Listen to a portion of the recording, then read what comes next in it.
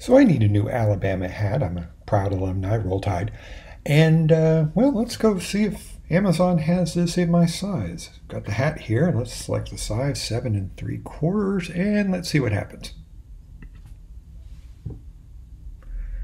Yeah, no.